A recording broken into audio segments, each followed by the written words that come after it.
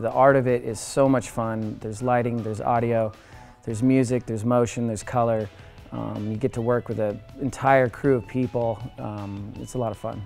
I'm passionate about what I do because I love telling stories, whether it's in the visual mediums, in video or photography or design, interactions. I like to tell stories. And um, more than that, I like to help, help our community. I'm so passionate about what I do because I see how it affects all the people I work with. It's not so much just a piece of my life over here that I enjoy and I kind of get satisfaction from, but I kind of have to live and breathe it. Passionate about what I do because I love helping my clients out.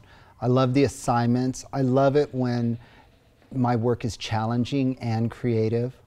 Um, I think it's just in my blood. Absolutely.